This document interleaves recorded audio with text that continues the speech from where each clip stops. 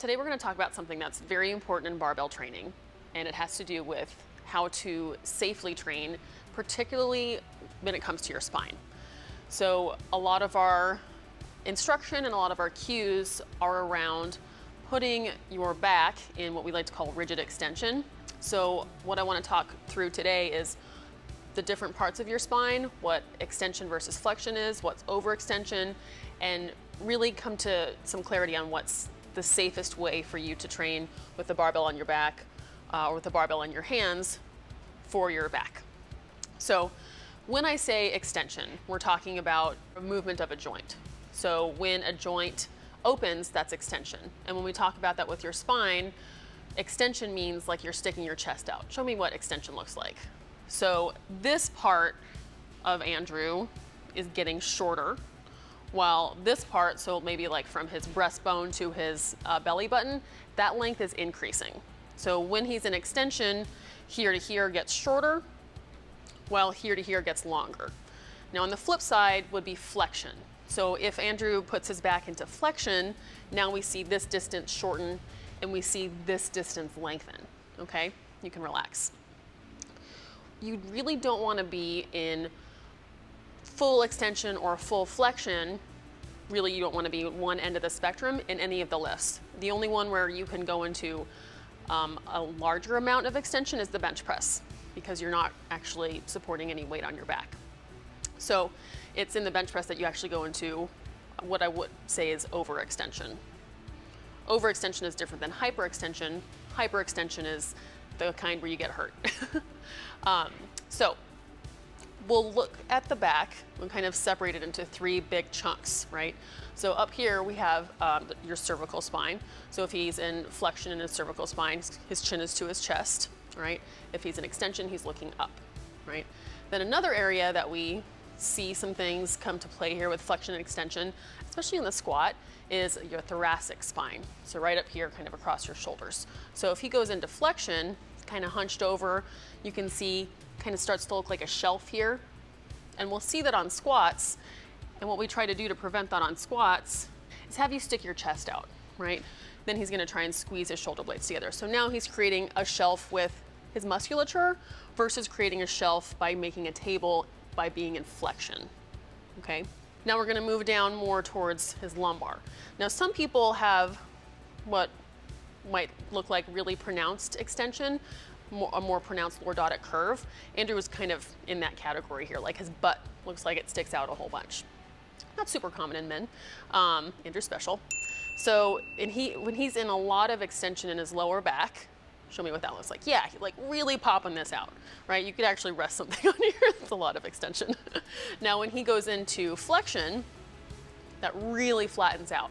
And he's doing that by rotating his pelvis one way or the other.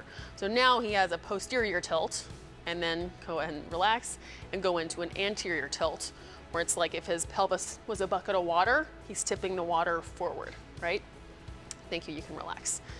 So the tricky thing when we're lifting and trying to find a happy medium is that we tend to, or what I tend to see is someone will overdo one area and not get enough out of another area.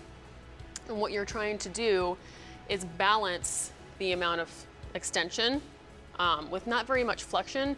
It's more about engaging the musculature that creates extension and engaging the musculature that creates flexion to a point where it's really balanced on either side.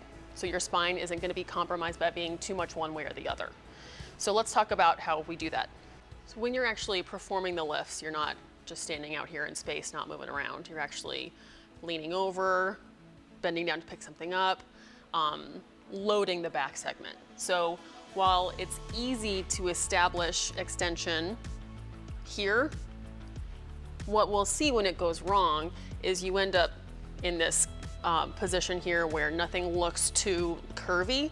But when you start moving, we'll see one area go the other way. We'll see like uh, the, the lower back here go into flexion. So if you've properly established rigid, ex rigid extension, your back shape will not change throughout a lift. Like in a squat, we're not gonna see your upper back round, we're not gonna see your butt tuck under you. It's gonna stay the same. Same thing on a deadlift. So when you start pulling, you have one shape of your back, and that shape stays the same throughout the whole lift. So establishing that is kind of tricky. So we're gonna walk through the three different segments here to help you kind of cue um, yourself into extension.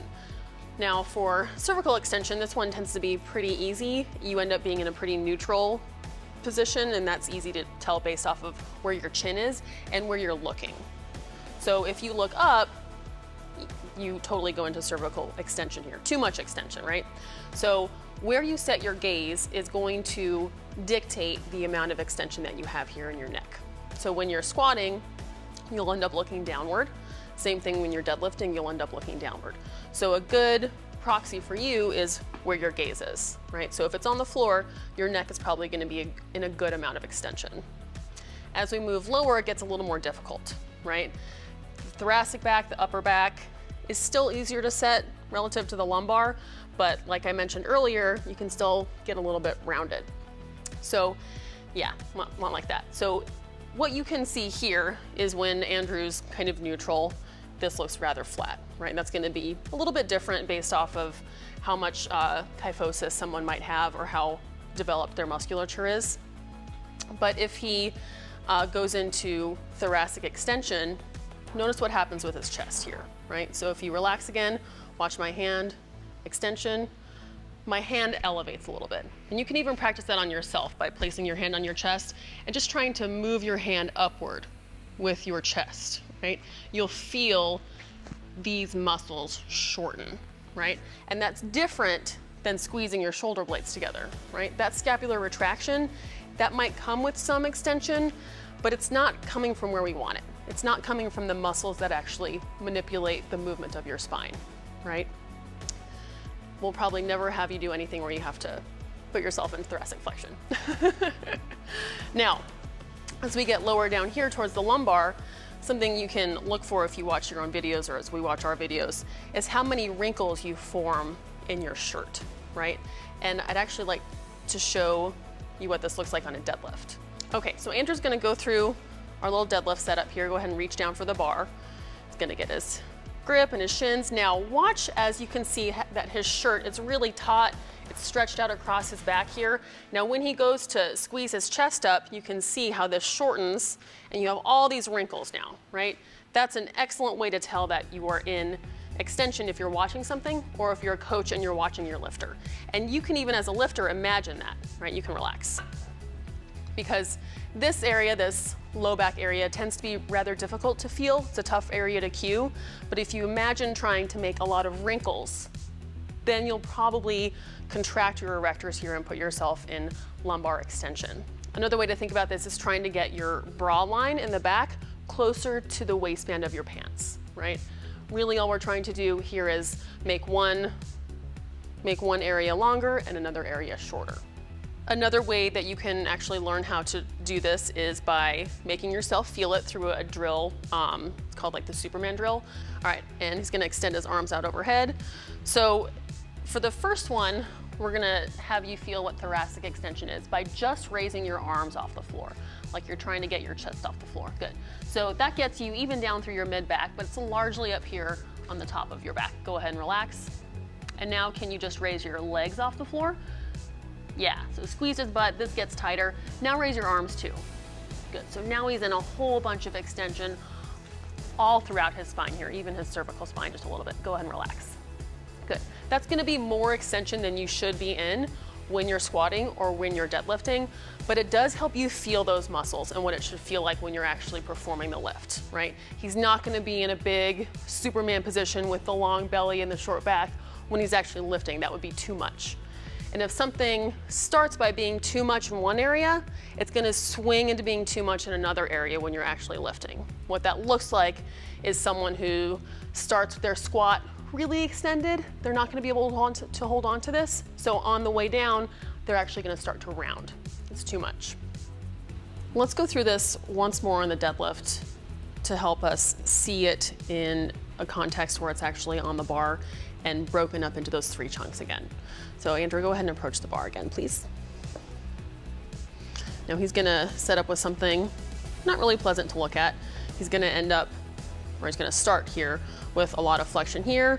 And what we see more often in the cervical spine and deadlifts is someone looking out too far ahead.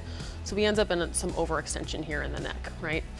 Um, and something that's really interesting about flexion and extension, you can head, you can rest for a second here, is like, it's like you're, you only have so much extension for your back. And I kind of imagine it like having like something like butter on bread.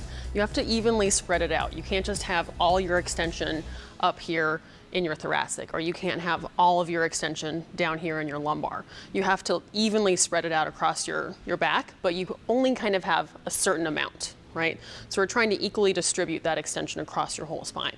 So if you go back down here to your deadlift, in that example you were just performing with a lot of extension here, like this is hogging all the extension. We need to spread it out a bit. So first things first, let's actually um, bring your chin down a little bit, look a little bit lower, good. And then I wanna see you get into thoracic extension. See if you can, yeah, you're gonna save a little bit here. But already we can see the wrinkles start to form here across his upper back. And then as he goes into lumbar extension, kind of moves his thighs out of the way. Lots and lots of wrinkles here. Like he, if he was wearing his belt, he'd be trying to get his waistband here really close to his belt, right? So this shortened, the front probably got a little bit longer, but not so much that this is entirely relaxed. And what gets very important, and we see it a lot with the timing at which we kind of check things off the list on our setup, is taking a breath, right? So if you take a big breath, like you're supposed to do when you get ready to lift, that really changes the shape, right? It changes how much extension you have in certain places, but you can't let your breath disrupt your extension, right? It has to reinforce it. So when you take your breath, take your breath before you finish your final squeeze, right? Just like when you're in a squat, you take a breath, let everything settle in, and then you move, right? So in a deadlift, you're going to breathe kind of right before that final chest up squeeze, right? So he's breathing, then he seals it all in, and you can press the floor away, drag the bar, and then right back down. So he did it so well that we didn't see him round his back when he took his breath, right? It wasn't getting really tight, or he didn't get really tight and then take a breath and lose everything, right? And then when he was moving the bar, the shape of his back stayed very consistent. So he was able to hold rigid extension while the bar was moving upward, which is exactly what you want. To learn more about how to lift safely with proper form, click the links up here.